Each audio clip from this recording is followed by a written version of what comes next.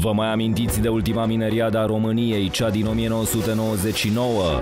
Cine a trădat în așa zisa bătălie de la Costești? Cum a fost guvernarea CDR? Radu Vasile nu m-a dorit ministrul de interne în cabinetul său.